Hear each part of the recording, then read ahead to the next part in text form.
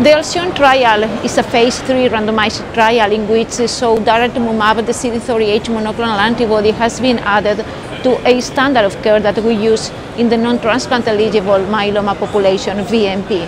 During this Congress, we had the opportunity to see the results updated, one year of additional follow-up with respect to one year ago. And so what we have observed is that uh, dara added to VMP resulted into a significant benefit in terms of progression-free survival with a hazard ratio of 0.45 and uh, this means that uh, so the median progression-free survival for VMP is 19 months, whilst when we add daratumumab, the median progression-free survival has not been reached yet.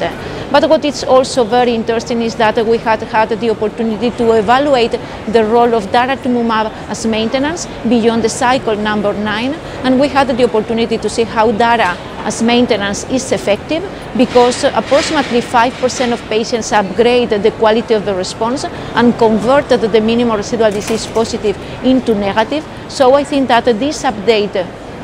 with a median follow-up of approximately 28 months confirm the role of DARA added to VMP